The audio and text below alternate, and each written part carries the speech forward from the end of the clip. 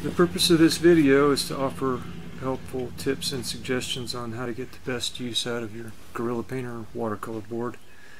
Uh, I want to start by uh, explaining all of the parts that make up these watercolor boards because I think it's important to understand how these parts come together uh, to make stretching paper possible. Uh, there's the screws, uh, the two-part extrusion, and the panel itself. Uh, the two-part aluminum extrusions, uh, the top is, is black, the, the bottom part is silver, and it's these two extrusions that kind of seat together that actually draws the paper across the board and creates the, the tension. It isn't the screw itself. The screw just facilitates bringing the two together. So um, let's talk about the screw. Under each uh, screw head there's a thin translucent washer. I don't know if you can make that out uh, with the camera. But this washer is often difficult to see, especially as you tighten things down. And uh, it's possible to confuse, if you don't know the washer's there, you can confuse it with there actually being a gap. And some people, sensing there's a gap, may continue to turn the screw when it's, when it's not necessary. So it's good to be aware that that's there. Uh, I, I, thought I'd, I'd use a piece of paper and show you just how uh, this assembly uh, pulls everything together. So get this in there. And uh, while I'm at it, I'll just mention uh, the common Phillips screwdriver comes in a, a, range of sizes, and the most common sizes are a number one head and a number two head. And the watercolor board screws uh, are fit to a number two head Phillips screwdriver. If you were to try and use a number one head, uh, the tendency is, is for the screwdriver to climb up and out of the head and spin like that and it's going to make your life difficult and it's going to make it harder to control these screws so uh, get yourself a number two if you don't already have one and it'll make your life easier.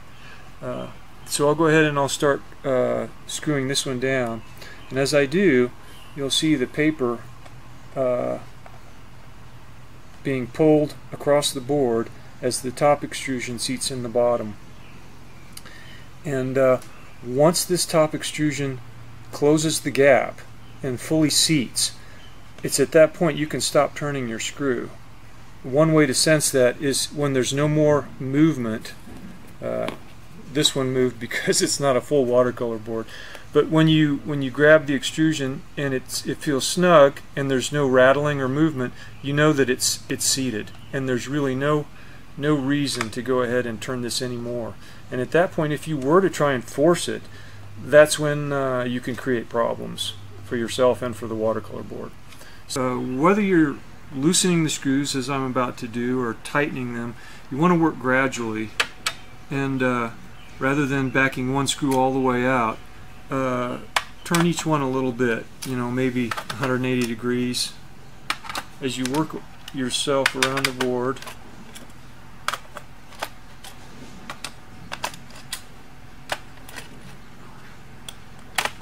And just keep going until you have all the screws out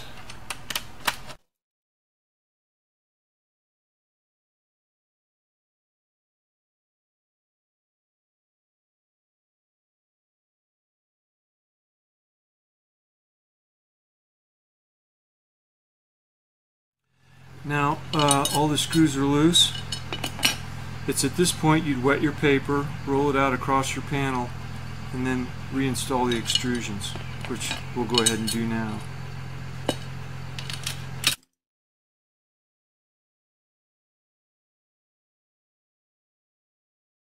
One of the things I find helpful as I'm uh, starting the screws back in again is rather than just uh, rotating one screw uh, all the way in uh, is to start the screw actually by going backwards. There you go. And you go backwards until you you uh, you both hear and feel the screw seat. Uh, sometimes there's a, an audible click. Did you hear that? Once you uh, feel and hear that click, you know that the threads are seated and you can start going clockwise to tighten the screw. But again, don't tighten one all the way down. Uh, just work, work work your way around the board, tightening each one gradually. Again, we're going to go backwards. There we go. And then a little bit tighter. And by going backwards and seating that thread, what you're doing is you're ensuring that you don't cross thread the screw. And uh, if you were to cross thread the screw, um, it can create problems for you.